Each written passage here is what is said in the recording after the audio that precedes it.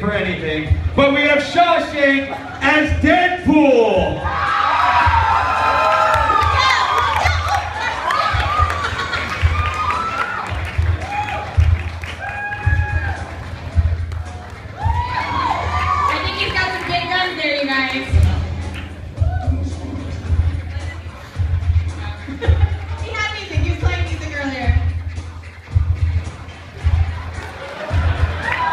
He's tired of happy, smiley Deadpool.